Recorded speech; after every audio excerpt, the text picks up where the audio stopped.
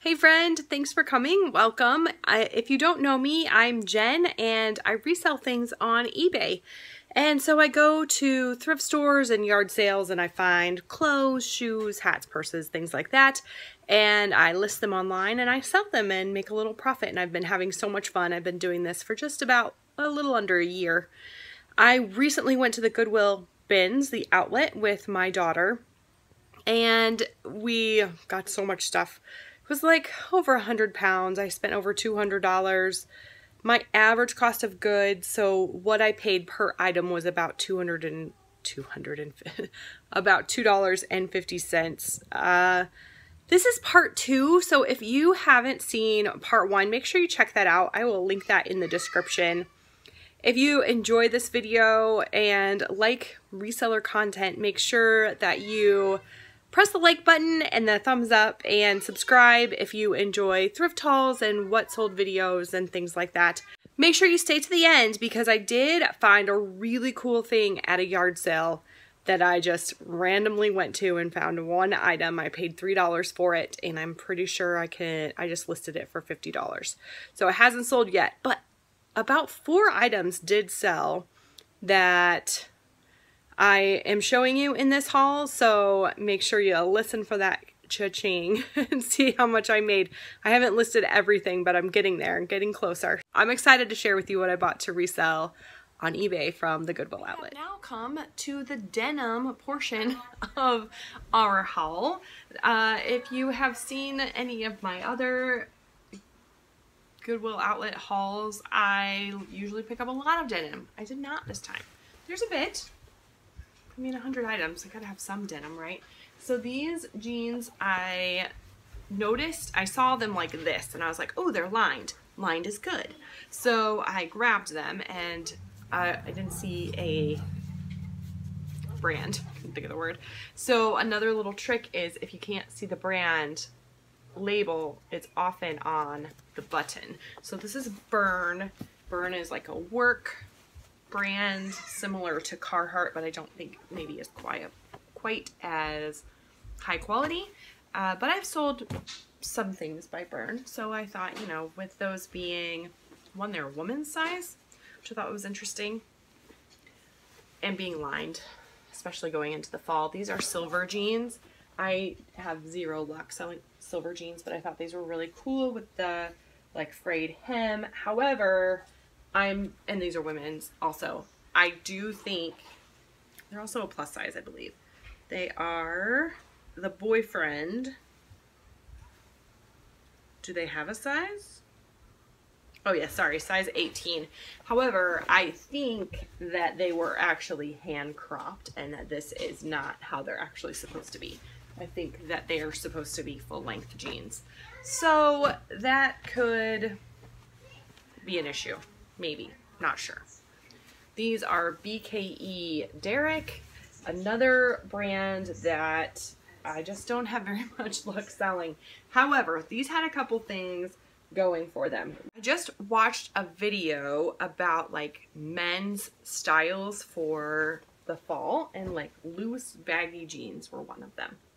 So, and light jeans. So these are obviously light. They look loose and baggy to me. They're a little frayed at the bottom, which I don't know. But then they also have like stuff on the bum, which I don't like stuff on my bum, but apparently stuff on the bum is sought after or popular or fashionable. I'm not I'm not very fashionable. So I'm just telling you. This is Cinch and again, it's kind of a work brand. I did look these up in the store in the store eh, yeah in the bins but I don't remember what. The comps were but they were good enough for me to buy them. I get a little obsessed with Levi's and I am learning really really I'm learning a lot about just through experience not necessarily people telling me what to buy but I I'm just I'm learning okay? I did just sell a pair of Levi's but I also have listed a bunch that haven't sold. So there you go. I did buy three pair of Levi's. They're all very different. So the first one is actually a jean jacket and I just thought it was really cool. And it's Levi's and it's a woman's, I do believe. But, man, if that's a woman's large, that's really large. Okay, I thought it was a men's, but maybe it is a woman's. It just is very large if it's a woman's. These are Levi's and they are camo cargo shorts. I've had a lot of luck recently selling cargo shorts and I feel like camo is always a thing. And then these, I've never found these before and so I was really excited, but they are wedgies. And they are a button fly, they're distressed, they are skinny, which all the people tell me skinny's not cool anymore. However, I still see a lot of people wearing skinnies and I also see a lot of, or I also sell a lot of skinny jeans. So there is a little bit of puckering right here in the fly. And that is something, if you're gonna like look for jeans, make sure you look, they just get stretched out. And so if something's not 100% cotton, which these aren't, they just they just get stretched out. So I was really excited though. The wedgies I think go for more money, right? Well, I don't know why I was that excited. The sell-through rate's only about 25%. The highest one sold for 40, which is great, but most of them are like 11, 12, 40 and 42, but like best offer and 9.99, 15. Oh well. These are Lucky brand. This is a brand that I pick up a lot. I had sold really well for me, especially like the the shirts were selling really well, women's shirts. These are men's jeans, I believe. I should double check that before I tell you for sure. Yeah. These are men's jeans and they're really rather distressed and they're also kind of that loose baggy. These are Vineyard Vines. They are pink jeans, which, I don't know. Anyway, when I pulled them out of the wash, I don't think, I think my wash did this. I washed them with the, uh, the regular jeans and I think the like blue fading, it got, just got on there. So I'm not entirely sure. I might try to soak those I'm not really sure what I'm to do with them yet. And then, these are so cool. These are vintage Tommy Hilfiger. So these, again, light wash, baggy, men's jeans. They are carpenter, so they have like this funky pocket and a hammer hook. I've never seen anyone with a hammer in it, but but then it also has the Tommy Hilfiger thing here. I this does have a broken belt loop. I'm not sure that that's going to be a deal breaker, but I am hopeful that these are going to be actually worth a lot of money because sometimes these like vintage kind of things like that, just they randomly are. I kept the hats to a minimum, mostly because I just didn't find very many. Uh, I don't know what he is, but you know, it's a rabbit using a carrot as a bat. but trucker hat. I also don't know what this is. It says Tatum Parker Project on the back, but it was new with tags. And I've had decent luck with visors. This is Captain America, snapback. And this is the Cubs, right? Yeah, this is a youth, um, but I just thought it was really cool and really good condition. I always check in here. I found that that's not necessarily a deal breaker, but just for my own personal, like, I just like to make sure it looks nice. My daughter did bring to my attention, it does have a name written on the inside. I, that might be an issue. I don't know. I thought this skirt was so cool. It is quite heavy, so I probably paid a couple of bucks for it. But it is a brand called Maggie Marilyn. There was just something about the way that tag was made and kind of the significant weight and I don't know, just the way this looked that made me go, um, I might look up that up. But anyway, it has kind of a frayed edge and it's aligned. It's made of cotton and the lining is viscose and it is a size six, but it was made in New Zealand and it says ethically made in New Zealand. And we already kind of talked about that with the fair trade. It, that just kind of gives me something that I'm gonna look up. I'm trying to remember if I looked this up. Actually, you know what I'm seeing? I think the zipper's broken.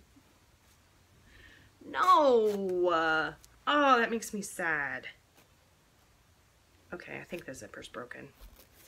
Darn it all. That's frustrating.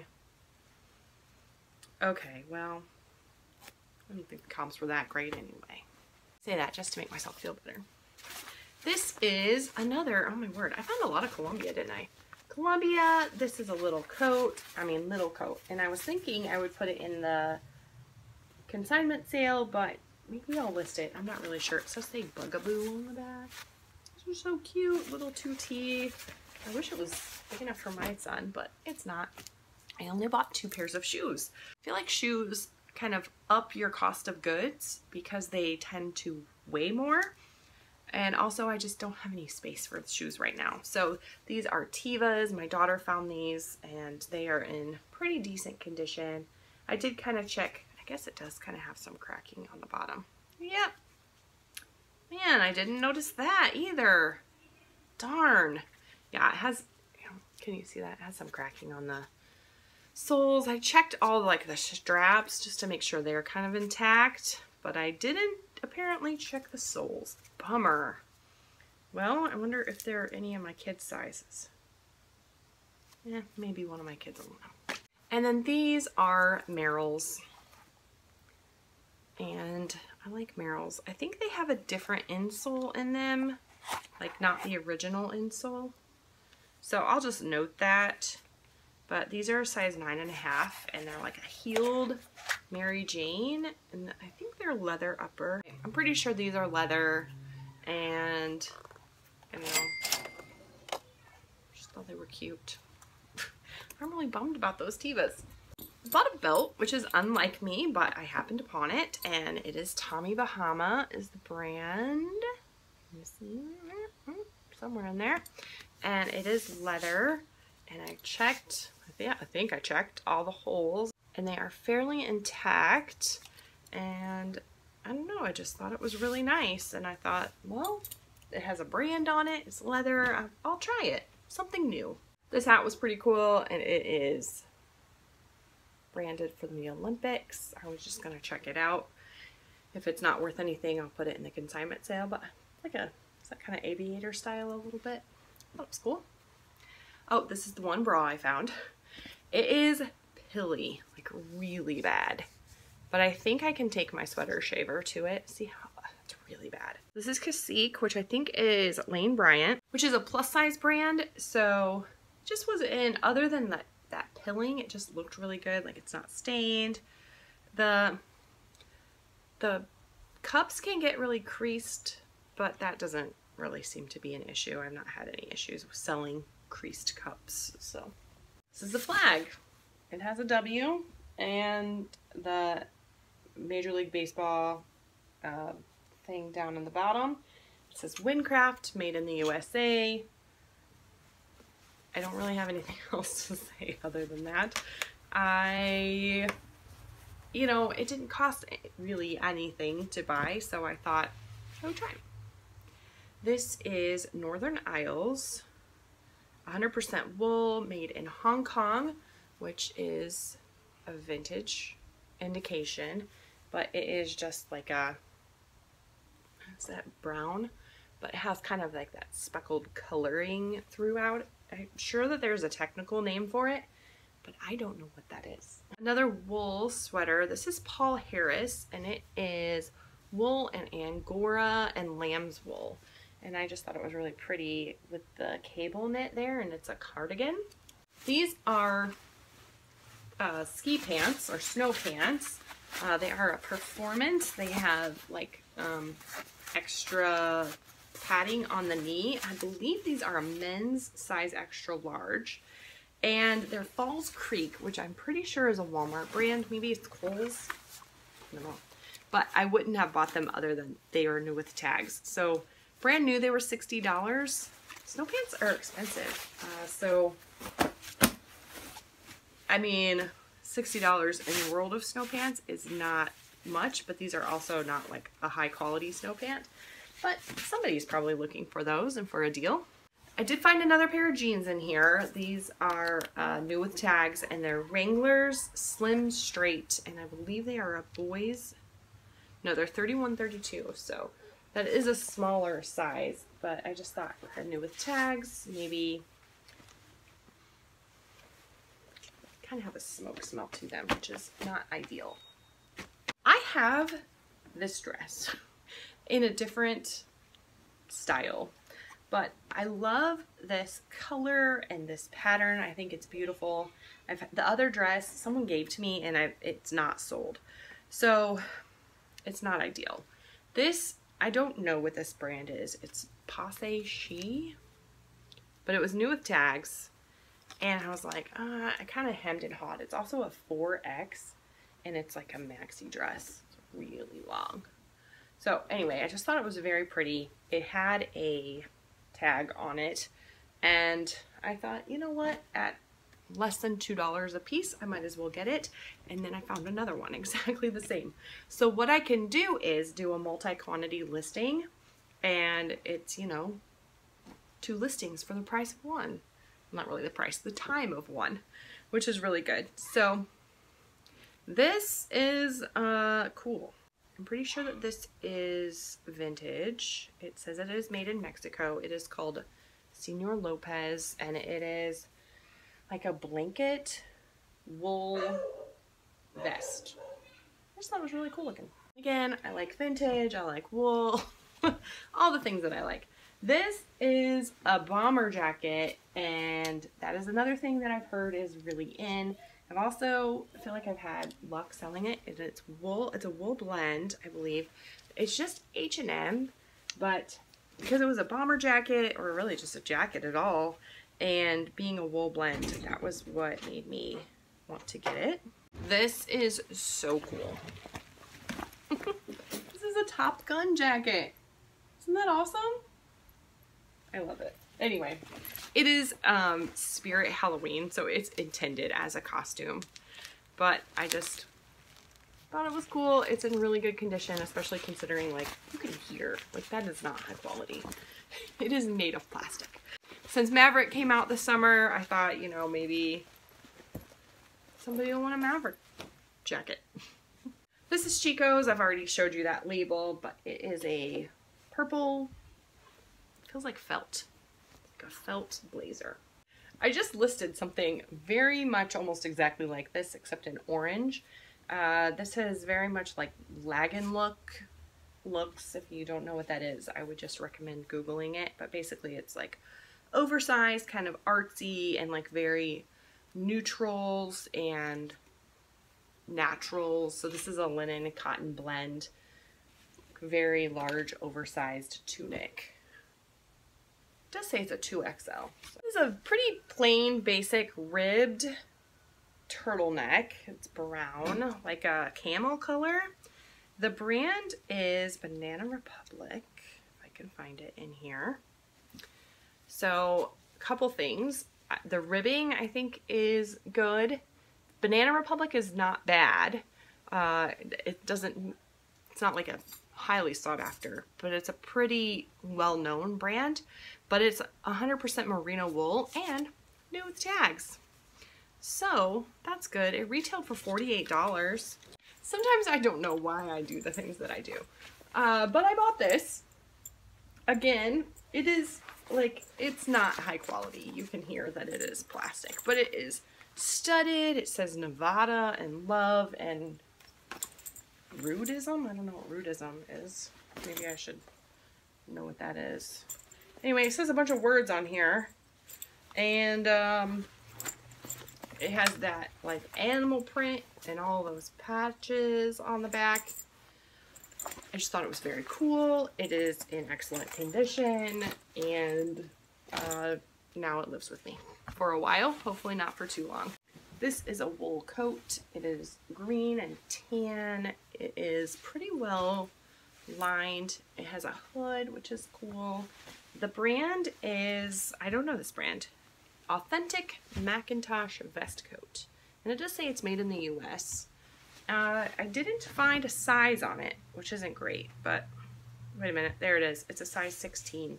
I do think it might be vintage based on I don't know, my gut maybe? I don't know. I think it might be vintage. This is a Nike Dri-FIT, Nike Golf Dri-FIT, and it is a quarter zip. It does say Alongo on it. I don't know what that means. But it was new with tags, that was why I got it. I just have a really hard time sending things that are new with tags to the landfill. If you haven't deduced from me saying that, this a lot. Uh, what happens after the bins is that they then send it to the landfill, unfortunately. So this is J. Crew. It's medium. It's 100% lamb's wool, and it's made in Hong Kong, which indicates it's vintage, and it is a gray turtleneck. This didn't have a tag in it, but it is wool. It has a, um, a fabric tag on the bottom, but doesn't have an RN number or anything. It just says it's merino extra fine wool with also some alpaca in it, which is excellent, but I thought it was really cool, just like that. Kind of heathered, it's really light gray is what I would say. It's not white, it's like a gray. Okay, this was an exciting find for me, not a brand I find very often ever, really. I'm also wondering if this tag means that maybe it's new without tags. Anyway, it's a size extra small, but that's huge, right? uh, so very oversized sweater with like the stripes and a dolman sleeve. I, after I got home and I looked at the, um, I looked at the fabric tag and it's actually 89% alpaca, which is great. I didn't even realize that it was wool but the brand is Free People. So I'm really pumped about that. I have no idea if the style is cool or not. I mean, it looks cool to me, but I'm hopeful that that will be good. And then this is Robert Scott. This is a silk linen cotton blend vintage. Let's see, made in Hong Kong. And it is a vintage like embroidered sweater with all those leaves. Like this is just perfect for fall. I think it's beautiful. Yeah, so a cardigan sweater. I do try to make sure and check all the buttons and make sure all the buttons are there. Clearly I don't check zippers, but I do try to check the buttons. Oh goodness, this is, oh my goodness, this was beautiful. This is mostly acrylic, has a little bit of wool in it. It's called April Como? Cornell. April Cornell. I just thought that, I mean, just the label is beautiful, right? It is a cardigan, but look at that. It's like beaded, sequined. I mean, even the buttons are beaded. It's just really pretty. And yeah, it's just beautiful, I think. This was made, it's made in Russia. So again, something I should have looked up and I didn't. Harvey Bernard Sport, and it is a wool green blazer. This might be my favorite thing of the whole day. this is Smartwool, something I've never found before. And I was expecting, like, when I saw the Smart um, brand, I was like, oh, it's going to have holes or something, but it's not. And it's so pretty. So I know, like, Smartwool, like, just plain basic stuff can go for a lot of money, like $40 even with holes and stuff. So I'm hopeful that like a pretty non-holy one will go for even more, but we will see. This is Van Heusen, uh, not a brand I would normally buy, but it is new with tags. And I just thought it was very, I mean, it's just a long sleeve polo shirt. So, okay, actually this might be my favorite thing that I found. So this is Vintage Lands' End. Dad's home. I know. This is Vintage Lands' End and it is a velvet, black velvet dress. It's like probably midi length. My camera hates black. Um, the buttons are covered in velvet. It's just really cool. It may be my size. I may try to wear it. I don't know what I would wear it to, but it's really cool. And this, I don't know what that brand is either, but this is a really cool looking coat. It has kind of a waterfall effect on the collar and I think it was at least a wool blend, but it feels like felt. I just thought it was really nice. It's like not super heavy, so I don't know. It's a size large. I just thought it was really pretty and looked like it was in good condition. And again, the wool tends to add some value. Happened upon a pile of bags and it was funny because like all the pockets were turned inside out. So I think somebody was digging through bags for pockets or for money. I didn't find any, but maybe somebody did. But this is Baggallini is the brand. I like Baggallini personally. I think it is a decent brand and it the bags I've sold have all sold like $15 I think. But I like to wear them. They're nylon so I can throw them in the wash. They're just durable. They're kind of cute. This so this is kind of like a one shouldered backpack. Uh, it does have a coin purse that goes in it there's lots and lots of pockets on the inside there's pockets on the outside unfortunately there's quite a bit of like kind of discoloration on the back, so I'm not really sure how well that'll clean up, but I'm going to try. We'll see. This is a Valerie Stevens. I don't really know that brand, but it is 100% silk, and it is like a, color would you say this color is?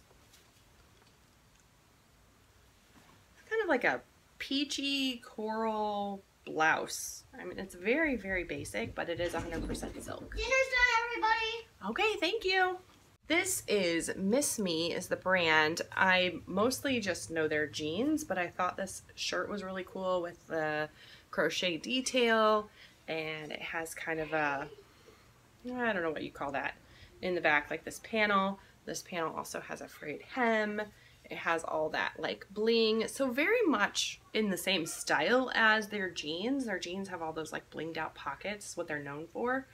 Uh, this is a shirt. So I don't, again, comp much of anything. Okay, I'm going to tell you about these shirts, but first I'm going to tell you, I was looking at this little pile of clothes in like the hard goods section. So my Goodwill outlet has the clothes separated out from everything else. But sometimes you'll find a little pile of clothes, whether the workers put it in there or another person who was shopping just like dumped their what they didn't want. So I'm digging through this little pile of stuff and I glanced up and there was a pair of leather pants. And I went to grab it and as I did, this woman came behind me and like swooped them up. I was so mad. I've sold two pair of leather pants within the past year since I started for over $50, so I was really irritated. Hopefully they had a big hole in them or something. No, I don't I don't really wish her ill, but I did in that pile find two Tommy Bahama silk shirts. So this is one, and this one is really cool because it has this embroidery on the back. It says without reservation. And I don't really know what that little scene is, but I just thought it was really cool. And then this one is Tommy Bahama original fit, and it's just plain. But just that like teal. It does have like a textured print in there. I don't know if you can see that in my camera, but um, it is kind of textured. So those were fun. And then I found this scarf and I just thought it was absolutely beautiful. Just thought it was really pretty. Uh, there is a spot on it that I saw, but it has all this embroidery. It's sheer. I don't know if you can see me through there. Uh, that is not a spot, that is a fuzzy. And it is just kind of lined with like this little beading trim. It's just really pretty and it's huge. Uh, like a shawl type thing, scarf, right?